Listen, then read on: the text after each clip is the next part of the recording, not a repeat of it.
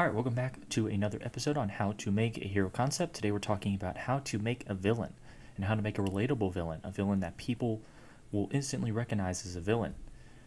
Basically, an obvious villain.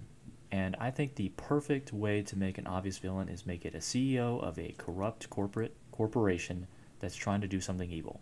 So we have Billard here. Role is hybrid, playstyle is shooter, and description CEO. He's the COO, as we can see in his storyline, COO, CEO, sorry, of IOI, Information Organizational Incorporated. He's a villain. Looking at his abilities, you can see here Registar, a submachine gun type ability, uh, passive distraction, distract, distraction. Sorry, can't really speak today. Can swipe some money by an enemy, which can distract nearby enemies for a few seconds. Basically, holds out like a palm of money, and the enemies will be distracted by it for a few seconds. Brass Buckle, has Brass Knuckles, melee attack with his fist, Brass Knuckles.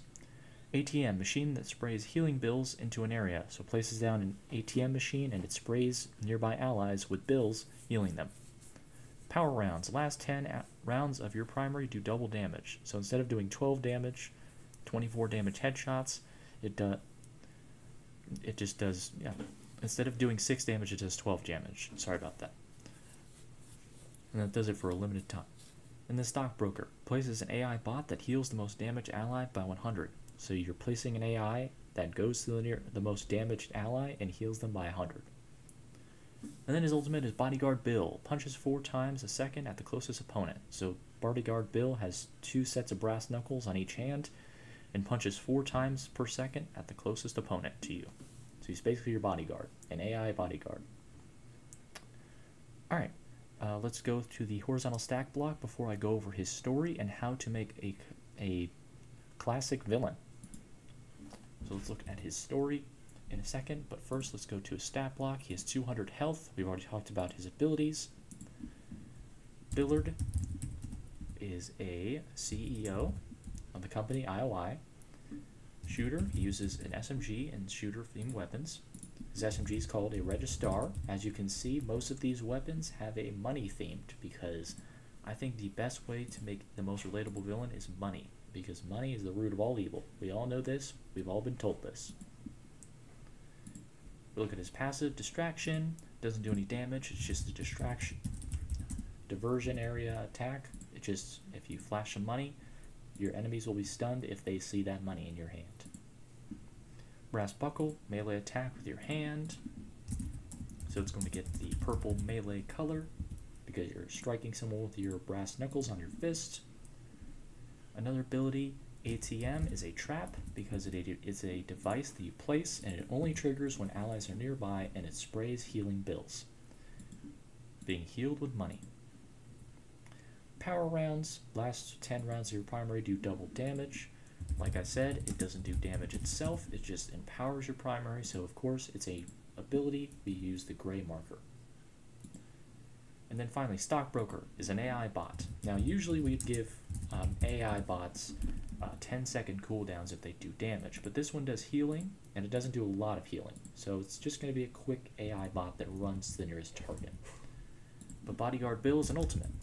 He's going to go in the ultimate section, and he is an AI bot that has double brass knuckles, set of brass knuckles, and goes after the closest ally to you, acting as your personal bodyguard. And of course, most humans in this world and in this game have the base health of 200.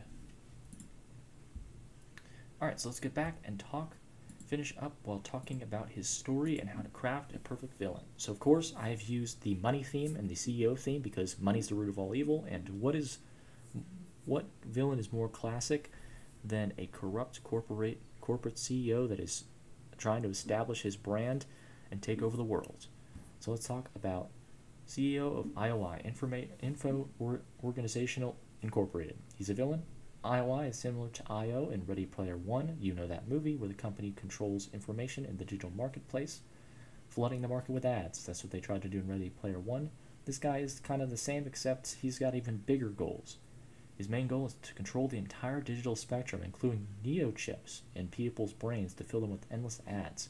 Neochips are similar to those Neuralink chips being, being developed by Elon Musk, personally, I hate Elon Musk. I hope he loses all of his money because he is not doing a good job and um, he's kind of a toxic individual in general. But the Neo chips, it's basically like Neuralink, except the Neo chips are not designed by Elon Musk, meaning that they actually work and they're in people some people's brains. Not all of people's brains, but some people's brains.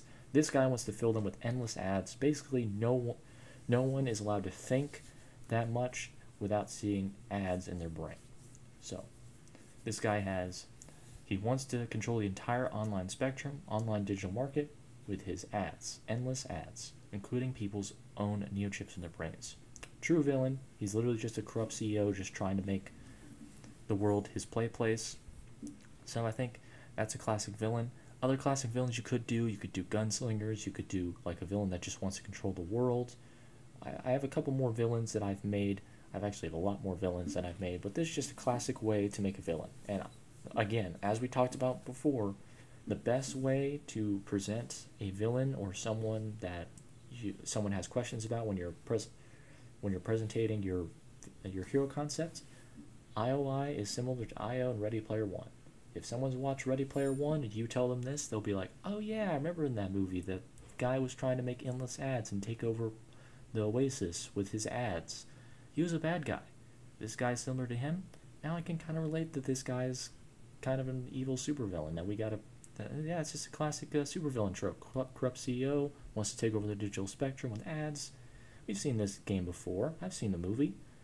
And now you've just made that guy and whoever else has been, who has watched that movie, kind of understand your character's motivations pretty easily. Alright, that's going to do it for the end of this video. Thank you guys so much for watching. Like if you like, dislike if you don't, subscribe if you like it, and I'll see you guys next time. Toodaloo!